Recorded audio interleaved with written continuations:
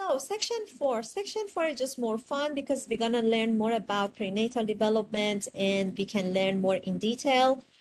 So the first step um, in prenatal development is zygote, or let's say conception, which uh, means when a sperm and egg get together. It's going to be any time uh, within, let's say, two weeks, um, and the whole shape of zygote is going to be a mass cell of uh, a mass of cells, which can be in a shape of a hollow sphere.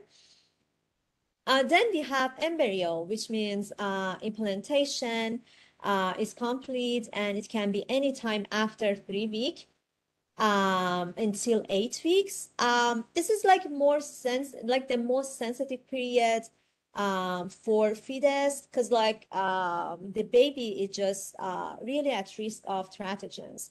So if mom would have any sort of alcohol or um, be exposed to any sort of teratogens, the baby uh, would have a problem with like high probability, like 95% of the time, let's say, uh, the baby might have some sort of disabilities. Um, here you can see a picture of uh, baby with fetal alcohol syndrome. You can see like um, lips, uh, eyes, and nose is just different. And you can see even the shape um, from the moment that baby uh, would be born, or even sometimes from uh, prenatal screening. You can just understand that. But like to be honest, it's just so hard uh, for majority of women to just monitor if they are pregnant or not anytime before um, week uh, four, because like they cannot understand that, so they might consume alcohol. Um, so for women who um, like got the decision and just trying to get pregnant, it is better um, to not having any alcohol or uh, not being exposed to any sort of teratogens. So here we can see um, a good picture of cell divisions. Uh, like you can see here, cell mass uh, can differentiate uh, into uh, three different layers. First of all, we have endodermal, which means like uh, the cell gonna develop uh, into internal organs and glands. Then we have ectodermal. Ecto means outside. So it means like developing into body parts that make contact with outside world, like a skin, like ner nervous system. Then we have mesodermal, which meso means something in between. Um, so it's going to be developed into muscles bone, sex organ, and heart. So I guess the name can speak. So hopefully you wouldn't have any problem understanding that. Because like endo means like inside, ecto means outside, and meso is just something in between. Here you can see a better picture of how stem cell gonna develop. Uh, you can have uh, more examples in the book, so check them out because they're definitely they're gonna be quizzes.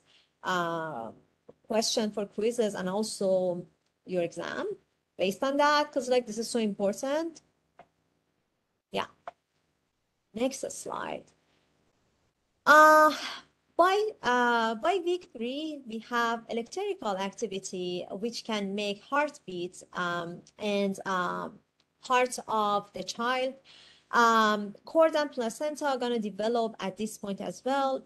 This is a typo. I will fix that. I'm sorry about that. Here you can see embryonic development. You can see anytime starting from week three to week eight can be embryonic development. And it is very important because we have to be careful that the baby not going to be exposed to any sort of teratogens because if they would be, they're definitely going to be a problem. There is a table about that I will show you later, but just uh, keep that in mind. Week three to eight is just very important. So right after week eight, uh, we have fetus. So basically now we have a baby, like some someone inside that can actually move, that can give a signal that they are actually exist, uh, existing. And this is a good meme. It actually says that if the baby won't kick, everyone gets worried because like after week nine, the baby just have some sort of movement. So mom knows that there is a baby. So if the baby gets silent or just uh, not moving at all, mom gonna just panic. They feel like there gonna be some problems. So yeah, this is the fetus part. Um, again, we have like further development in the structure um, that uh, have already been formed. Uh, basically, like we have heart, we have like some sort of muscle, but just they're gonna develop more and more. Uh, we can see some increasement in size and weight. Uh, we can see some differentiation in sex organs, and we can see fetal activity like wiggling toes and kicking, which should be really fun. I wish I had you right in front of me. So some of you guys who already um, had a baby or um, like have a sibling who experienced that period could just share uh, your idea and experience. It would have been fun. But since I don't have you, let's get back to the topic. Um, so during the fetus life, like fetus time, 9 to 38 weeks, the baby has sensitivity to stimulation from outside. For example, if they would hear any sort of crazy sound, the baby gonna kick more. Or if mom would be under stress, the baby gonna kick like crazy. So they can understand everything. Uh, bra- uh, brain connection gonna develop at this part, and that's why uh, different doctors saying that mom should be totally relaxed and in a good condition because uh, it is totally relevant to relevant to baby's cognitive development. Um, also, baby at this point are going to be exposed to mother's uh, antibodies uh, to prevent any sort of uh, infection. How baby can be exposed uh, to antibodies? By umbilical cord, because they're going to be a cord between baby and placenta, and uh, they are kind of relevant. So that's the key. Age of viability. This is very important. We all know that uh, sometimes the baby gonna be preterm. Um, so when fetus, the only time that fetus can survive outside of the body can be any time after week 22 to 26. Like anytime earlier, uh, it is kind of, uh, I wouldn't say impossible, but there's gonna be less chance for baby to survive. So age of viability means anytime between uh, week 22 and 26, uh, which uh, fetus can survive outside of the womb. So here you can see some fancy pictures about baby's development, um, which is really fun.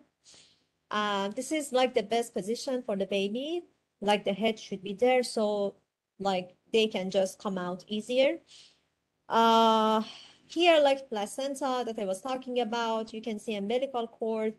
You can you can see also amniotic fluid uh, that I told you about, which has baby cells, mom cells, um, and it can help us to just understand if the baby has um, any sort of disability or not.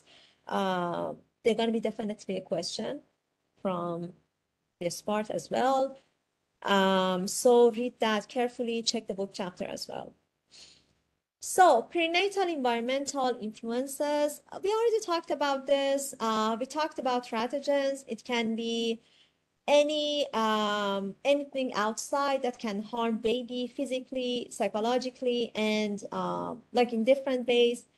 Uh, effects of uh, teratogens depend on timing, first of all, because like we talked about a critical period, like uh, week three to week uh, eight, which is so important, and mom shouldn't be exposed to any sort of teratogens. Uh, so timing is just so important. It doesn't mean like, for example, by week 25, um, if we would have teratogens around, uh, baby would be fine. No, there again, there are gonna be some damages here and there. But like that period is just so important. So timing matters. Um, another one can be genetics. Um, if there would be some sort of abnormalities in parents, like uh, dominant genes and recessive genes, um, teratogens from outside can just uh, simulate that, uh, that source of uh, genetic uh, condition, right? So genetic is important as well. Um, another way can be any sort of high dosage, like the amount of teratogens that we are experiencing uh, can influence the baby a lot. For example, if uh, you would be exposed to a lot of alcohol, definitely baby would have more problem compared to just one shot or one sip. So it was the table that I was referring to. Uh, like you can see here, okay, here is week one and week two. It says that there wouldn't be any sort of problem, like no susceptibility to teratogens. I will talk about this soon. But here it's just uh, showing you um, the chance of having a baby with, with like different abnormalities um, in different period and different week. So, my God. So highly sensitive period is just the purple one. You can see that starting from week three, everything gonna be really important. We can see even mental retardation here, uh, which is really bad. We can see any sort of teratogens can impact baby at some point. So we should avoid teratogens starting from week three. But here, for example, you can see that by week like 32 uh, to 38, there might not be that much a big deal. Um, if like, for example, mom would consume alcohol, again, we would have problem, but like this is like the less sensitive period. So this period is very important, but like that part, anytime after week uh, 32, it's just less uh, sensitive. But still, parents should just uh, follow all the rules. They should avoid any sort of damages to their baby. Back to this point, it says that there is no susceptible uh, and possibility for damages for children. That's wrong. The problem is if, for example, by week one, or week two, when the, the lady is pregnant, the mom is pregnant, most of the time, first of all, they don't know if they are pregnant or not. So they are consuming alcohol. They would have like a lot of unhealthy diet or that kind of a stuff. And they might have miscarriage. So basically they don't know because it is like week two. So they feel like this is this is their, their actual period. Uh, or they they might understand this is a miscarriage, but since they don't know um, like if they are pregnant or not, uh, they cannot relate that bad habits, that teratogens to the miscarriage. Another point is there is no research, almost no research about women um, in that period who got pregnant and like follow the experimental situation. So this is a wrong claim about not being susceptible to any sort of teratogens. No, at any point of pregnancy, women and even dad, like men, should avoid any sort of teratogens because it can directly impact health of the baby and they shouldn't risk anything. Be mindful of that. So here is uh, some some ethical uh, problems. Uh, there are like five questions. It's just asking about you, for example, like different questions. Uh, which are so challenging, I want you to answer them by yourself and just actually think about them because they are so important. For example, just um, what is the parent's right to choose to treat or not to treat uh, a Down syndrome? For example, just imagine if you have a baby with like any sort of abnormalities or disorders, uh, should you do abortion or not? Because like basically you as a mom or a dad, you are attached to this fetus. You actually have some feeling for them. So should you actually have the baby or let's say, should you like kill them, right? It is really such a challenge. Another one is just emotional consequences of knowing that. For example, whether the doctor should inform parents that they're going to be a problem with the baby or not.